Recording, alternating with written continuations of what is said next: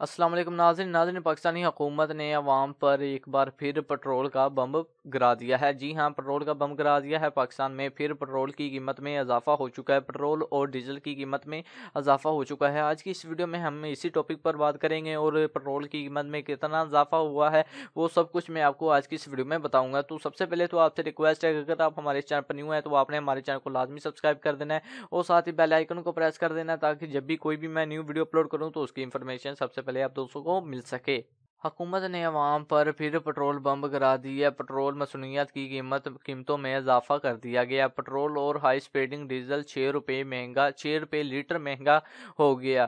Petrol کی نئی قیمت اضافے کے بعد اٹھانوے پوائنٹ ناسی پیسے اور ہائی سپیڈنگ ڈیزل کی ایک سو ستارہ روپے ترتالی پیسے لیٹر ہو گئی۔ لائٹ لائٹ ڈیزل اور مٹی کے تیل کی قیمت میں تین تین روپے لیٹر اضافہ ہو گیا۔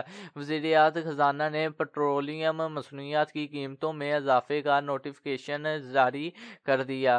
او گرنے پٹرول میں گیارہ روپے بانوے پیسے اور ہائی سپیڈنگ ڈیزل میں گیارہ روپے ستارہ پیسے فی لیٹر کا اضافہ تجویز کیا گیا تھا۔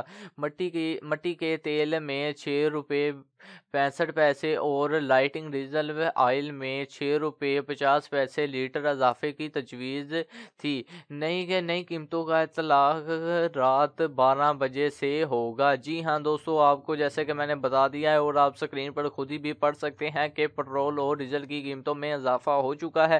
تو اگر آپ کو کوئی اس ویڈیو سے انفارمیشن ملے، نوٹیفیکیشن یعنی کہ آپ کو آج کی ویڈیو اچھی لگے تو ویڈیو کو لائک کریں۔ ویسے تو یہ گڈ نیوز تو ہے نہیں، باقی ویڈیو کو کو لازمی لائک کریں کیونکہ اگر کوئی بھی اس طرح کی نیوز یا پھر کوئی بھی نیوز آئے جو کہ آپ کے لیے بہت زیادہ فائدہ مند ہو اور آپ کو وہ یعنی کہ آپ کے وہ سننے کے لیے ضروری ہو، تو میں ویڈیو بنا کر اپلوڈ کیا کروں گا۔ تو جب آپ سبسکرائب کر دیں گے اور ساتھ ہی بیل آئیکن کو پریس کریں گے اور جب بھی میں ویڈیو اپلوڈ کروں گا، تو اس کی انفارمیشن سب سے پہلے آپ دوستوں کو مل سکے گی۔ تو تھینک یو فار واچنگ